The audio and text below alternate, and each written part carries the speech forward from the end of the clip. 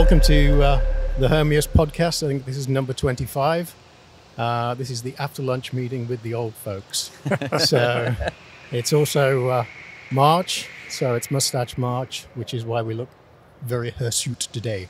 Um, today we're going to uh, introduce uh, somebody that needs no introduction within the flight test community. Uh, a legend, Art Turbo Tomassetti, uh, is here with us, and uh, we're going to be talking about his career uh, and uh, and about flight test in general.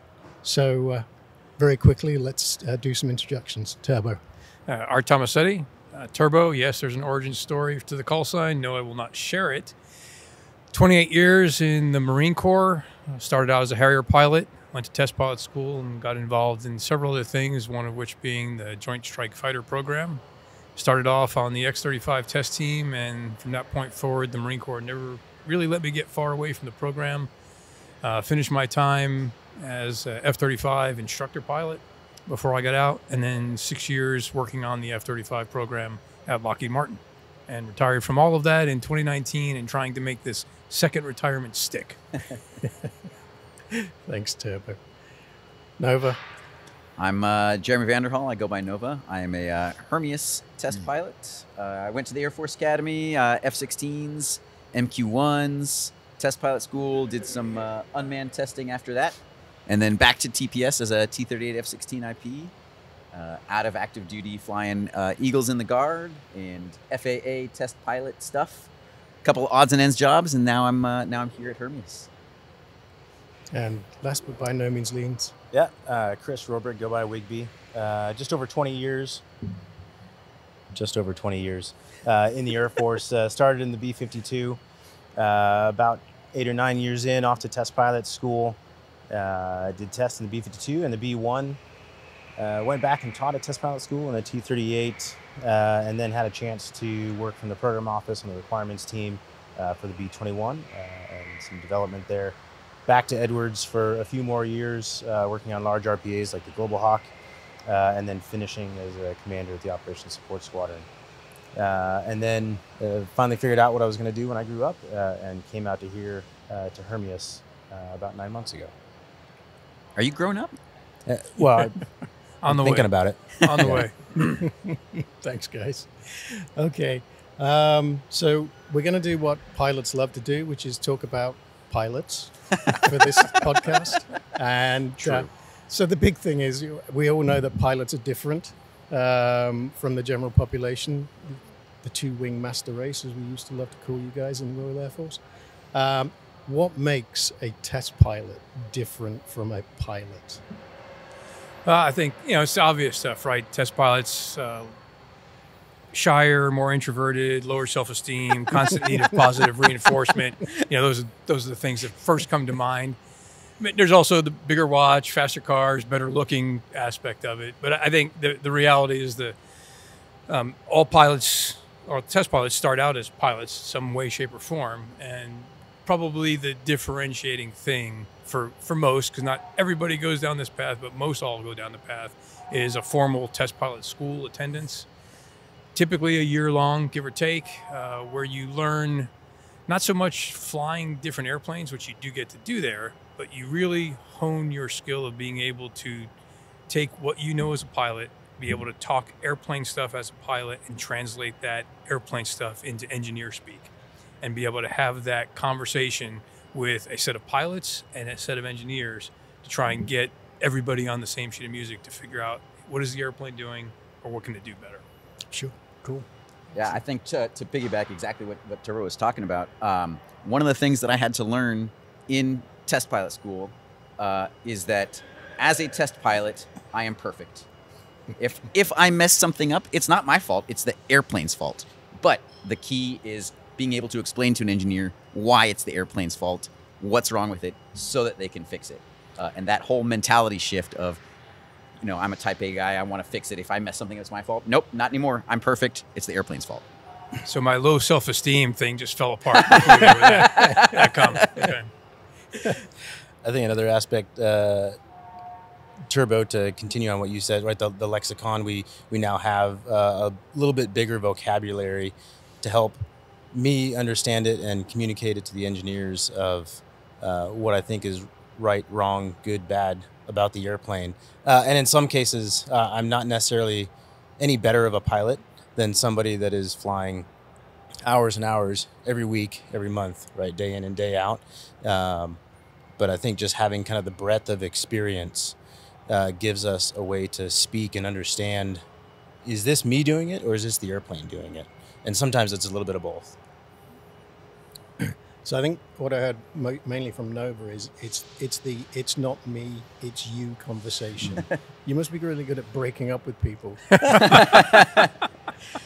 Uh, no, but you know, it's it's all it's all it comes from the heart. but but like but for reals for a second though, it, it, it's because um, you know at, by the time you get to test pilot school, you've you've shown that you have at least the bare minimum amount of skills in order to be a test pilot. But the reason that you are telling an engineer that that this airplane is broken for X, XYZ reasons is because you're designing the airplane for the brand new student pilot or the brand new wingman or the brand new co-pilot uh, that isn't able gonna isn't going to be able to fall back on their years of experience because they don't have it. Right. So our job as test pilots is to try really hard to find where the airplane is broken so that when that brand new person that flies the airplane flies it, they don't they're not test pilots for the first time. We've already discovered all the bad things and fixed it. And those are usually like the fun and exciting days. Like, yes, we found something that doesn't work, Yeah. and now we can fix it. Yep. Uh, when everything goes like smooth, you're like, well, that was easy. Yeah. Now what? Yeah, and I agree. I mean, my time as a Harrier pilot, I, you know, was Harrier had a, a not too outstanding uh, safety record, right? And I always thought the way to survive in that airplane was for me to be as good as I possibly Mhm. can. And it wasn't until I went to test pilot school and learned that, hey, you know, there's things we can do to the airplane to make it a little bit more human proof. Yeah. So I think I, I agree with you. No, that's, that's spot on. And I think maybe one of the other things, I think all of the test pilots I know, probably with the exception of one, have some engineering background before they ever qualify as a test pilot. So you've either gone to engineering school, uh, studies as, a, as an engineer, um, and then become a pilot, or studied it as in some form. I think, as I say, I only know one who studied classics, uh, so he knows Greek really well, um, but he's actually a pretty good test pilot too. Um, so yeah, good We, stuff. we talk to the engineers so that the other people don't have to. also true. I, and I think I like to sort of always say it's not our job to break the airplane, it's our job to show where the design lacks robustness. And, and I think there are days, as, as Wigby says, I think there are days when we actually test that robustness just, you know, right to the limit and, and not a single dot further. So, yeah, great fun. Thanks, guys. Um, very cool. Um, so, uh, talking about test pilots and, and what we do and what you guys do and how we do flight test, um, let's talk about the allure of X planes and first flights and how we go about first flights and why they're different um, in our approach to a first flight build-up.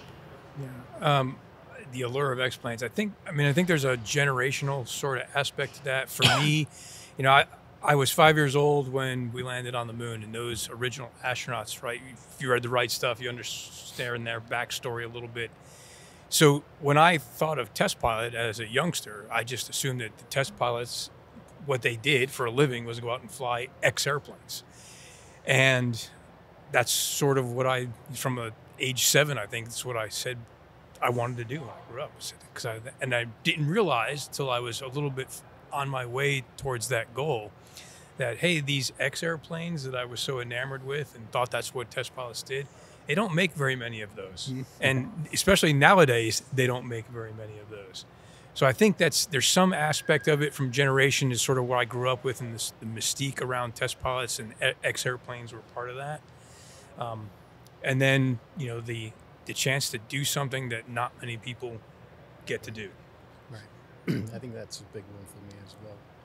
We've been over.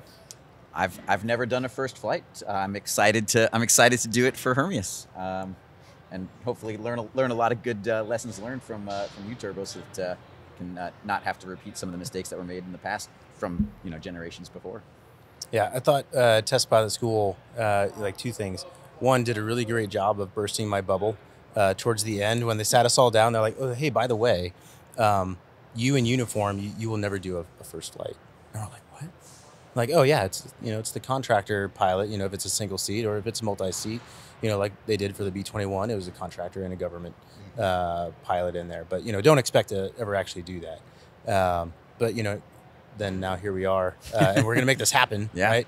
Uh, is the plan this summer, and, and it's gonna be awesome. Um, the other thing was, you know, they, they've got a first, or at least when we went through, right, they had a first flight type of uh, flight and academic aspect that you had to do. Mm-hmm. Um, and I think there's some lessons to pull from that.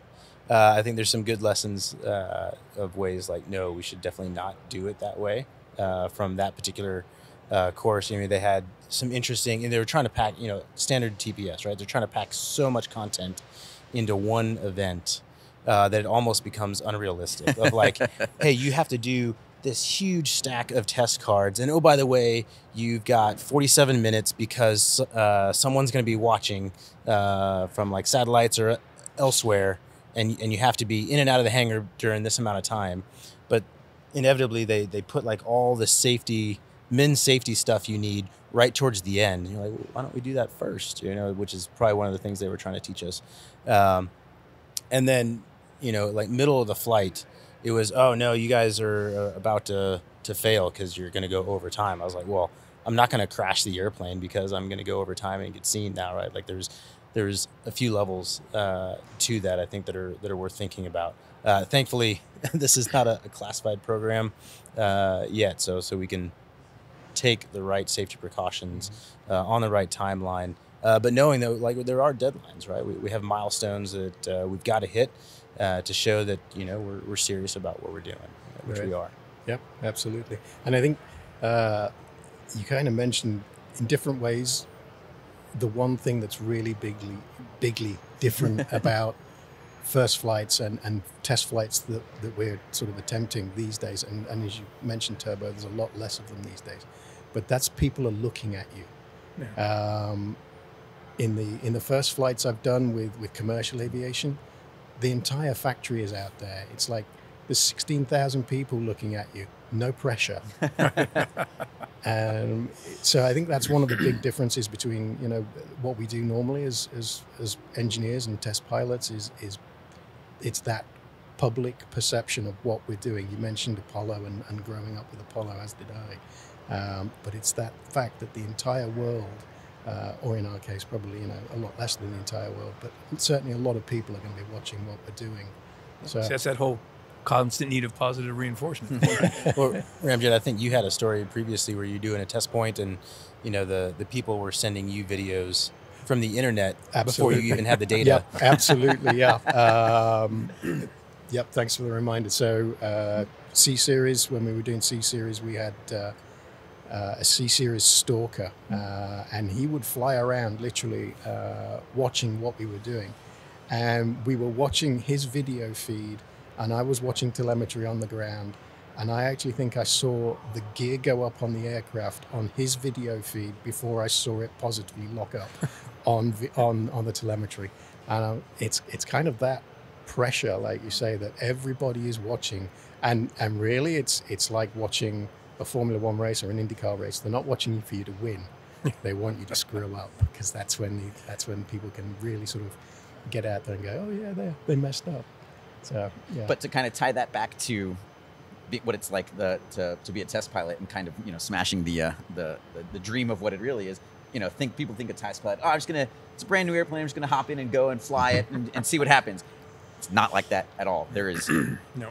Hours and hours and days and days and weeks and weeks and months and months of planning for a 20 minute flight yep, absolutely. and then days and maybe even weeks of analysis after that flight so that we understand what happened so that the next one can be even better Yep. and nothing nothing happens by chance it is all deliberate planning uh, because you need to know everything that's going to happen to the best of your ability before you go out and, and step step to your flight Yep, absolutely.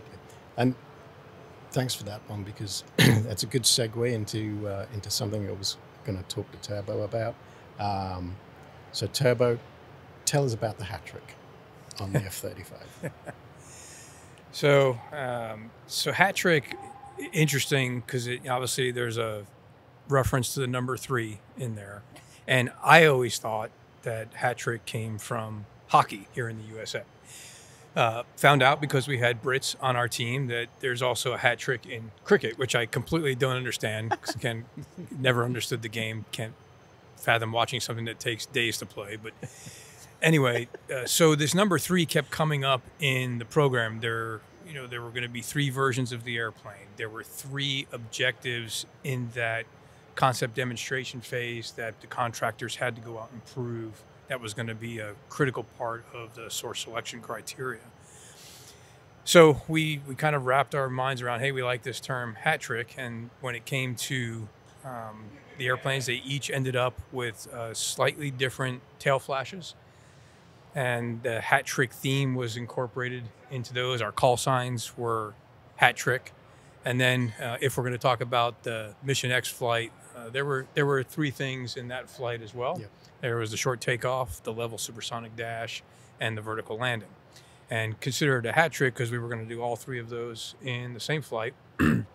as far as our research told us at the time, nobody else had done that before. If they did do it before, nobody else bothered to video it or write it down.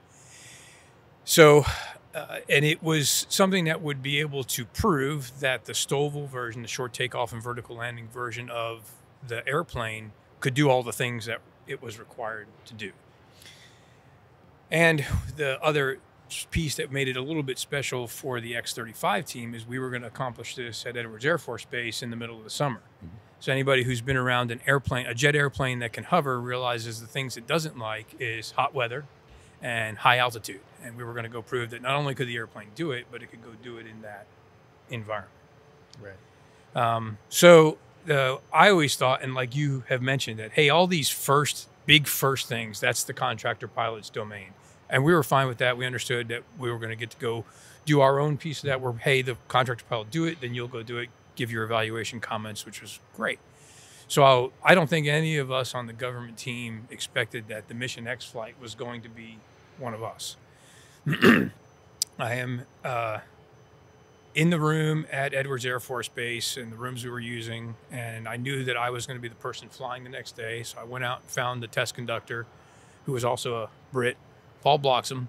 And I said, "Hey, do you have the test cards ready?" And he said, "Hey, I'm, I'm just getting ready to print them out. Come back in about 20 minutes, and I'll have them." So I went out got a coffee, came back, and he hands me the deck of test cards. And I start flipping through the test cards, and I get to the overview page, and I'm looking at it, and I'm like, "Oh my God, this is the Mission X profile."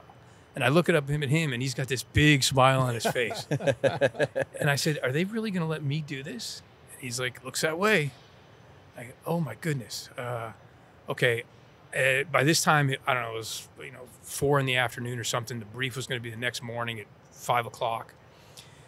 And I said, "Well, not only were we trying to do those three things in that flight, but because we were trying to maximize every minute of flight time in the airplane, there were three other test points, and mm-hmm. trying to get all those done on the one tank of gas was going to be a bit of a challenge. said, hey, I want to go practice this in the simulator. So I called down to the Lockheed facility down in Palmdale, which is about a 45 minute drive from Edwards.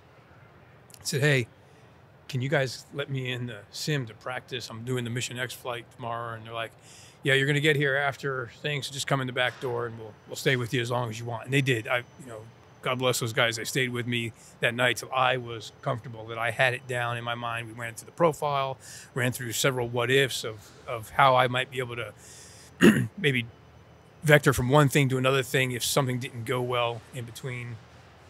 And then went back, uh, went to sleep, got up the next morning. And the interesting thing about where we were at Edwards is uh, as you were coming uh, from off base, you drive, you get all the way to the back where all the hangars were, and you would have to crest this hill. And as you crested the hill, you would get your first glimpse of the hangar and the apron. And if the airplane was outside, that was a good sign, right? Because you knew, all right, it, whatever happened last night was good. It made it through all the maintenance checks. It's ready to go because it's sitting outside. So I came over the hill, keep my like opened one eye, thinking that might be better to absorb what was going to happen. And yeah, it's outside. It's all good. We go in, uh, we brief, and I'm walking out to go get my uh, flight gear on, and I'm walking alongside our government lead engineer because he's going to the control room. I'm going to get my flight gear on, And he looks over at me, and we'd known each other for a while. And he's like, "Turbo, what's wrong? You're not your usual Mm-hmm. joking self." I said, "Hey, man, this is Mission X. Is a lot riding on it. You mentioned everybody watching. Well, there was everybody and ten more people that were going to be Right. watching this flight." And I said, "Dude, it's Mission X." And, he he looked at me and he paused, and he said, "Well, just remember, Turbo, they taught monkeys how to fly spaceships." and and in that moment, I mean, it was it was joking in the moment. Like, yeah, okay, I, maybe I'm taking this way too way too serious. Um, but went out and we uh, got in the airplane, and everything kind of flowed smoothly.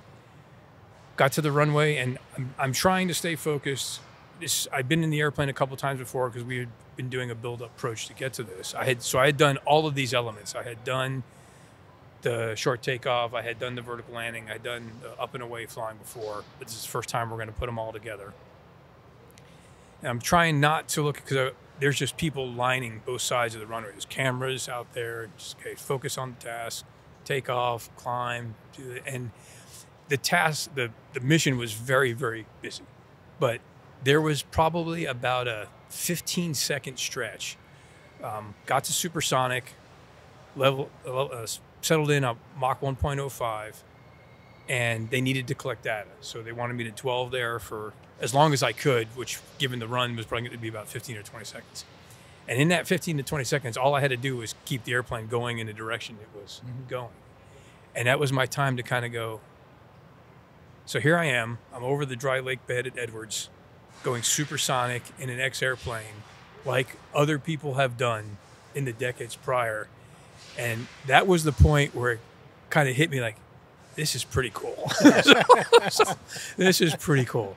Um, and then it was back into to getting everything ready.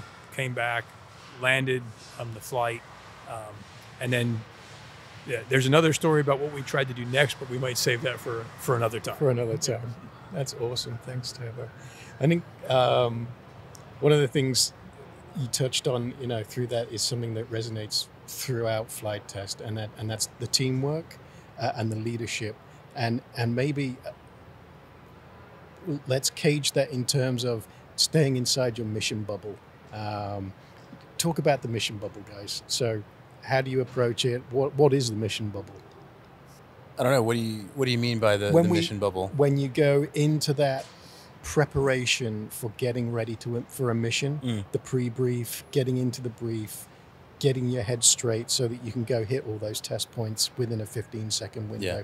without somebody like me in the back of the airplane usually going trim, trim, get on trim, uh, you know, that sort of thing. So how do you, yeah, how do you approach that mission bubble and, and how do you get the team and, and the leadership uh, and, and the rest of the team just caged around you so that everybody's inside that mission bubble? So I'll preface preface this with uh, a follow-on question I was going to have for Turbo, of you know, do those um, the nerves, the butterflies, etc., start to fade a little bit the more of those kind of high intensity flights you do, where there's lots of people watching, uh, or or how do you manage that? Um, but I think you know, like what we learned from our Mark Zero campaign and what we kind of talked about a little bit earlier uh, before the podcast is is the same thing we do for every flight, right? We do the, the proper, you know, planning and, and uh, the mission planning and uh, training and things for that ahead of time. And then at brief time, you hack your watch and you make sure that everyone's there and you have all of your materials and you go through the brief like you have hundreds of times before in a methodical uh, way. And, and very quickly, it, it feels normal. Like this is right. This is, um, even though the the content of the mission may be different, I'm I'm putting myself in the right uh, state of mind by going through talking about you know weather uh, and THAs and the range and all the other administrivia. And here's the details uh, of the mission that we're about to go do. And I would like you uh, collecting this information, and you got this, and you got this, and here's what I'm going to provide. Here's what I'm going to say. And we've practiced that a number of times. Okay. Any questions? Yes. We go back and forth a little bit. Uh, and by this point, we're our mind is is now kind of uh, set and caged, and and there's probably moments in there, uh, turbo like you just described uh, that we've had before, um, where, you're, where you can kind of pause for a second and you're like, yeah, this is pretty cool, um, and then you're kind of right back into it, you know, focusing on on what you're doing. Um, so I, I think maybe that's what you mean by like the mission bubble of Yeah. like we have that that kind of set tempo and process uh, that puts us in the right state of mind. Um, and you know, a part of that is identifying in yourselves uh, and others out loud of, hey, uh, yeah, you know, last couple nights, uh, baby's been up uh, crying and, and um, a little bit shorter on sleep. So, dude, if you see me glazing over, like, call me out on it right away um, because we- we can't have that during the mission. Uh, and so, being able to share uh, kind of vulnerably, vulnerably some of those things amongst the test team are, are good and expected. Yeah, I think there's the so there's the individual piece where you have to be able to compartmentalize, right? It's a word pilots and test pilots throw out a lot. I'd be able to take all those distractions in life and put them someplace for the for the hour and a half or whatever it's going to be that I'm going to go do this thing. So that's the individual piece. But I think there are occasions, and some of the stuff we did with X35 was in that in that kind of area where there's there's distractions you just can't do anything about. Okay, there's a film crew from PBS that wants to be in the brief doing that, and how do you not let the cameras and these people and the microphones and everything be a distraction? But you have to have thought about it figured, okay, here's here's where we want you, here's what we do, here's where we're going to ask you to step out because we're going to go do something now where it need to just be us, and that was usually the, when we got to the brief with the test crew and the safety chase crew and say, okay, this is us. We're going to go do our pilot stuff here. Some of these we'll let you in because they're lower threat, lower risk type things, but some of these we needed to have that be an isolated, compartmentalized thing. So I think there's a little bit of the personal piece and then figuring out in that group setting what's right. And you need to have, you know, you as the test pilot have, are you trying to manage more your personal piece? You've got to have those others who are involved in the operation there to do, like you said, to be that cross check. And, you know, when we were flying the airplanes cross country, um, I was sitting in Fort Worth and we're waiting for good weather at all of our diverts. Mm-hmm. And literally every five minutes, a different vice president or two stars walking. It, did you check the weather? Like, okay, I just checked it five minutes ago. And, you know, I yeah, I took meteorology a long time ago, but it, what I remember, it doesn't change that fast. And it's like I needed somebody to help. Hey, can you just manage that for me while I'm trying to do all this other stuff I've got to do to get ready to fly? And then that person said, okay, yeah, I'll, I'm at the door and just I'll I'll tell them the updates so that they don't have to keep coming in. Like perfect, that'll work. Yeah. I, th- I think if you um you know if, if you're if you're observing it from like the day of the brief and you you look at it it's like this amazing team like they create this bubble and they they work together so cohesively but it's it doesn't start that day Right. like the the way that you create this this bubble that you're talking about is for the weeks and months leading up to it this is a team that has worked together and has practiced in the sim and has gone, gone in late nights and, and rehearsed it over and over and over again. And like to the point where you almost know what that person's going to think or say before they before they do it. So that by the time you get to the day of the actual mission it's it's doing the things that you have to do in order to be you know safe and legal. Um, but like you, you almost you're almost at the point where you, you don't even need to because you've done it so many times and you know everything that that that, Yep. that needs to be done. And now it's just all right now it's now it's time to actually execute on this on this last Yeah. this Yeah, last it's kind of like having a, a really strong crew, uh, like on a B 52, a crewed airplane. Yeah. You know things are going really well when it's really quiet. And Right. everyone knows just the the exact moment when to speak and when not to speak and what to say and what you're listening for. Yeah, absolutely. I think uh, in, in my case, I think the uh, the time when I knew uh, this was on a first flight that we gelled together as a crew uh, was on a stall test. And we, we trimmed the airplanes in trim, and you know we're at 1.13 V stall, and it's like ev all the numbers are matching, everything's great. Co-pilot's looking good, test pilot's looking good, flight test engineer really looking good, and uh, and it's like okay, here we go, you know, one knot per second decel. So we start decelerating at one knot per second. And it's like I'm looking down and uh, I'm taking my notes, and I know the airplane's on the store because I can feel it. It's starting to go. And then all of a sudden, I look up, and the test pilot and the co pilot both got bottles of water in their hand, and so have I, because we know the airplane's going to push. It's going to push out, it's, it's going to push over and it's going to go negative G. So it's like anytime in three, two, one, now let go of the water. And the water just goes floating up and the airplane comes down. It's like, yep, got it. and it was at that point when, you know, just like you're right inside that bubble, you know you're jailed as a crew, uh, but it's the practice, it's everything that goes up to that point that gets you to there, you know? So it's, yeah, it's great fun, and uh, but it's a lot of work to get there, as you said. Absolutely. So very cool. Um, we talked about the X35 turbo. Uh, we can't talk about the X35 without talking about the X32 as well. Uh, and a dear friend of ours was, was one of those test pilots on the X32. Um, so, can you tell us a bit about the competition with the X32 and, and why do you think the, the F35 ultimately beat out the, the X32? But you've seen pictures of both, right? uh, I've seen pictures of both, and, and then I've seen pictures of both pilots. Yes. So, yeah. so, uh, yeah, both of the better looking of those two were on the same team, but I'll let. Um, um, no, we actually got told at one point because the comments on the looks of the airplanes were starting to get out of hand. We got told by our leadership to cease and desist all comments about the looks of the airplane, since that was not going to be a factor in the decision, uh, supposedly. Uh, so I, th- I think the first thing to say is, you know, being involved in a fly off first of all, there's the okay, I'm involved in an X airplane, which doesn't happen very often, which is great. But now I'm involved in a fly off between two of them.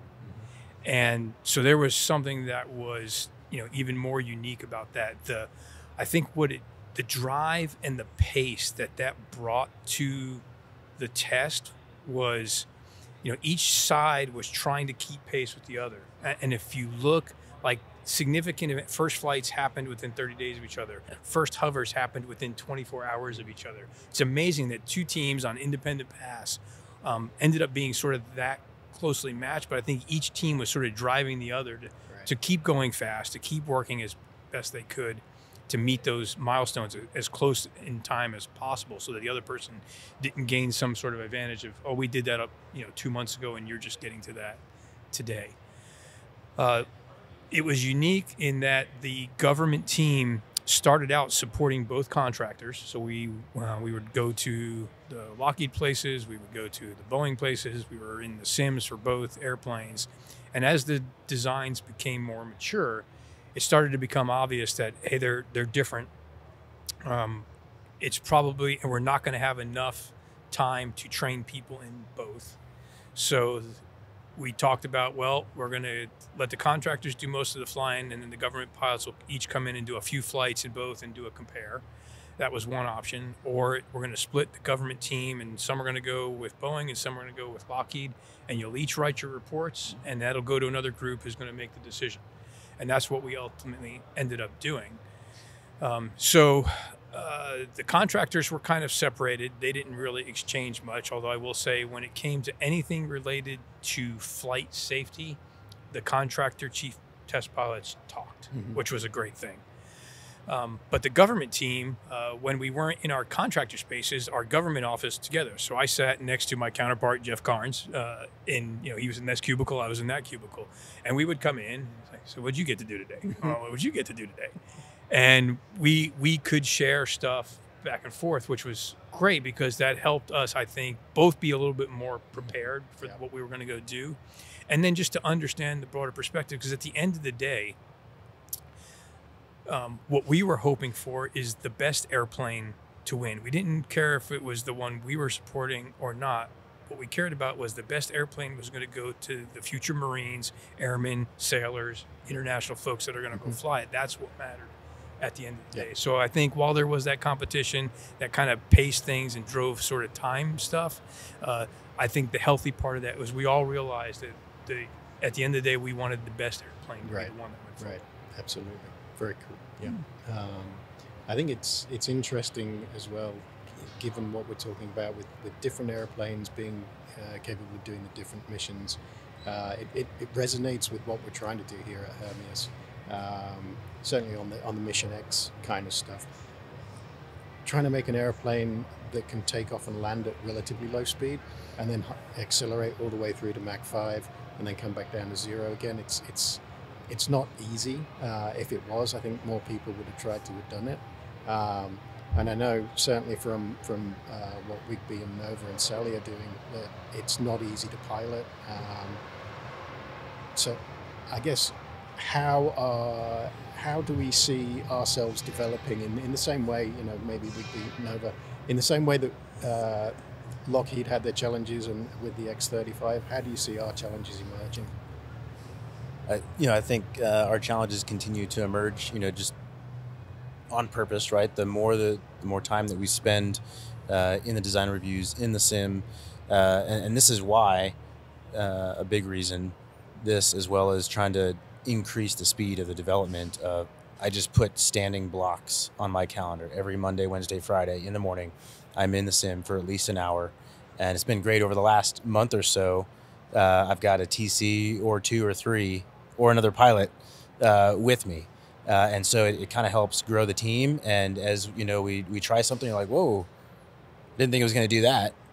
And then you know we we pause and we turn around and look at the engineer. Hey, why did it do that? Or why is this, um, you know, display acting in this way? And we can get that immediate feedback.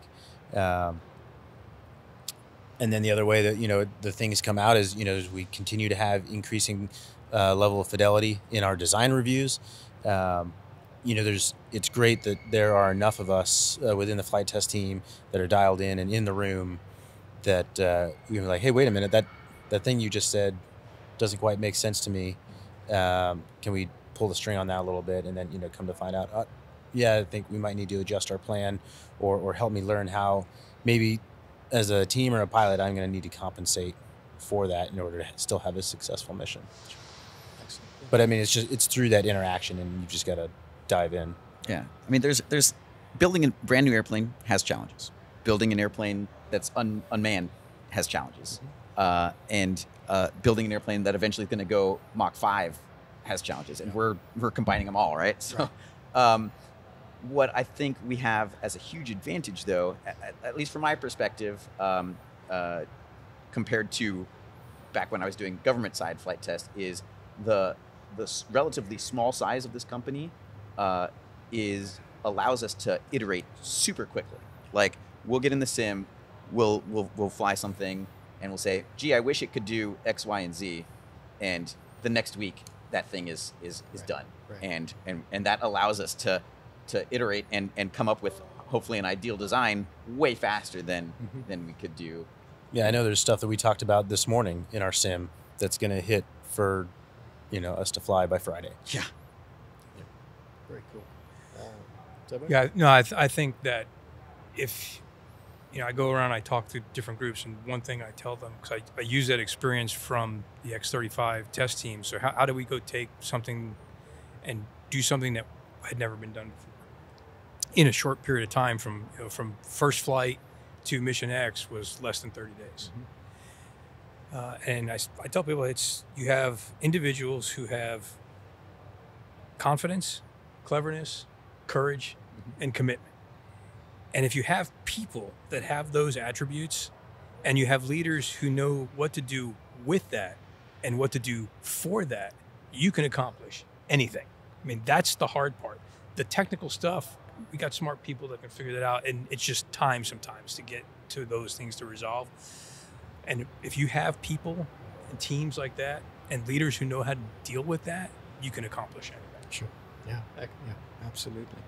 Um, I think one of the things we talked about uh, earlier on was was the difference in design philosophy between uh, the Harrier and, and the F thirty five, and how you approach um, the design aspects of that. And, and we, we were talking about the, the Harrier's a handful uh, and everybody I've ever talked to is basically, you know, you're trying to balance this manually controlled airplane on a column of noise. Um, whereas with the F-35, it's much more electronic. There's much more um, code in, in between you and the and the engines or the, the flight controls. Um, where I'm going with this, eventually we're going to get to a point where the airplane is autonomous and we see autonomy coming in more and more, and we talk more about machine learning and more about um, AI. How do you see autonomy affecting aircraft in the next five to ten? Well, I think we're, you know, the, the technical pace of autonomous capability is on its, you know, it's marching down its path. And there are some folks who are trying to figure out how does that align with the humans and the interaction between the two but I don't think there's enough folks working that piece of it. Um, I mean, you look at today. I I'm a test pod engineering background, so I should know better. But when I type in a destination in Google Maps on my phone or I punch it into the car's nav, it says turn right in one mile. I okay, I'm going to go turn right in one mile. Right. I don't. What I should be doing is pull back, zoom out. Let me see. Well, that doesn't look like a route that makes sense to get there because I've done that drive before. I know. Oh, I don't want to go through Atlanta at that time, whatever the case may be. Um, I should be doing that, but I'm trusting the autonomy because the past 20 times I did it, it was fine. Right. And I think that's the piece where where we see problems occur is the one time the autonomy for whatever reason, whether it's because of a poor design or because it's doing exactly what it was supposed to do, but we humans didn't think enough to realize it could do that or it was going to do that. Um, I think that's the piece. So I, I hope that whatever track this autonomous thing goes down, there are still the people who are trying to figure out how to have that intersection between the humans and the autonomy. So we do get the best thing in the end, right? The the two of those things working synergistically together to give me the best or the safest or whatever that may be. Sure. Absolutely.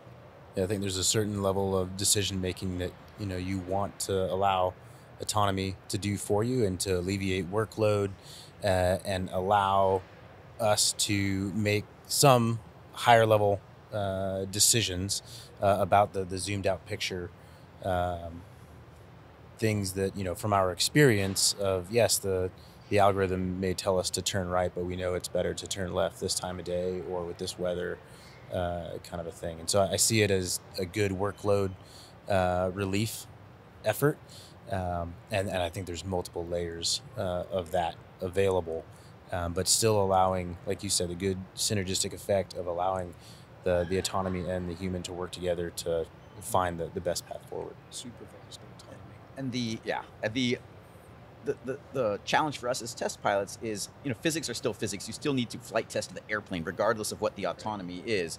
Uh, and so the challenge then becomes for us okay how do we do what is standard flight test practices with these layers of autonomy. And we you know we've had to i had to do that like back when we were doing like envelope expansion for crosswind landings for for global hawks. And you know when you're when you're doing a normal landing on a for, for you know in a manned airplane it's easy. You know you wait until the crosswinds are right and you just do a landing and then you land and you get the data. But like setting that all up uh, with these extra layers of autonomy between the pilot and the and the aircraft that's that's where the challenge is and you still have to do that.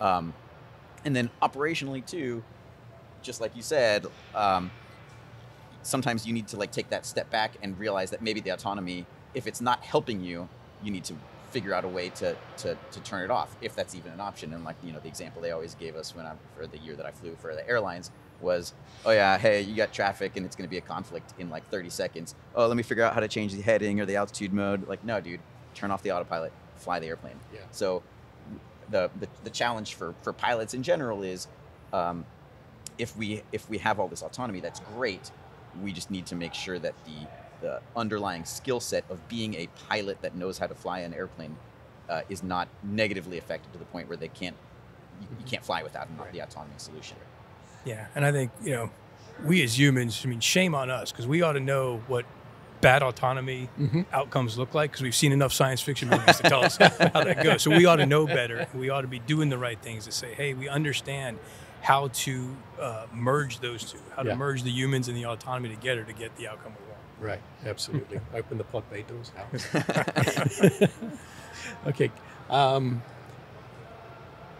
this is a, this is a question for, for you guys, and and I know pilots hate to talk about this sort of thing. So Us? uh, you guys, all of you, all three of you, uh, I know we don't hate pilots hate, talking to about talk about this yeah. sort of thing. what is an aircraft that you wish you had flown, um, and you never have, but you'd really love to? So I, I think I'm supposed to say the Halcyon picture. You got to know that, that would be the right, the smart move here, right? Uh, I mean, this is like the question of what's your favorite airplane, right? For folks who had been fortunate enough to fly many. I, th- I, I think for me, I'd, I'd have to go back is the the airplane that started me on the path when I was a kid. When I the first one I saw where I went, wow, that would be cool was the F-104 Starfighter, Hmm. and and I don't know something about that sleek design or, whatever, but uh, and I was I was this close to getting a ride in one, and then something happened with the ejection seat qual in the airplane, and the government wouldn't support it until they got that resolved and my time window passed. But I think that would be one that I just just to make that ultimate sort of connection back to the childhood me of realizing, okay, that was kind of a dream back then before I really understood where I wanted to go and what was going to be possible. So I think it'd be the 104. I uh, so I mean I, I flew fourth gen uh, fighters operationally F-16, F-15, and then in test pilot school we got to fly a couple of like first gen stuff like the MiG 15 and even some like World War II like the T6 and stuff. Uh, but I feel like the the generation that I missed out on was like third gen area, you know, like Vietnam. So like all the Century series and especially the F4. Uh, so for me, uh, I think I would love to fly the F4 or or something of that era Because because it's just it's like I mean the, F, the F4 in itself is proof that I mean you can you can get a brick to fly as long as you put enough thrusties behind it, right? And just I think that uh, part of it is just the nostalgia, like oh man, you know. F4, Robin Olds, you know, back Yep. in the day, kind of stuff. Speaking of, you know, yeah, uh, um, but uh, I, I think just I think it's I think it'd just be an interesting airplane to fly based you know and the F4 is also like a, from a test pilot perspective it's a lesson in like all all these things like all right hey let's change you know the let's change the the the dihedral and that means now we have to change the anhedral of the tail which means we now have to and all these like random Right. things like it's a Frankenstein jet because every time they change one thing that and I think it'd just be an interesting thing to fly from that perspective as Yeah. well but part of it is just like the, uh, you know let's just go Yeah, absolutely. So I think I'm on uh, kind of both ends of the spectrum of, of kind of new and old, and I think one I can actually do. Um, I didn't get the chance in test pilot school uh, to do the P51, uh, and they do have one here at the Confederate um, Commemorative Air Force down uh, south of uh, Atlanta. Um, but the other one would be either like an F-22 or F-35. Now we had a chance to like do the sims uh, during test pilot school, but I think you know from my multi-place you know bomber background of you know having the the opportunity for that single seat fighter, uh, you know supersonic you know fifth gen type uh, of operation, I think that would be uh, an amazing experience as well. Um, I think the only other single seat uh, chance I had was the A10 during test pilot school, which is still currently my favorite airplane to have flown.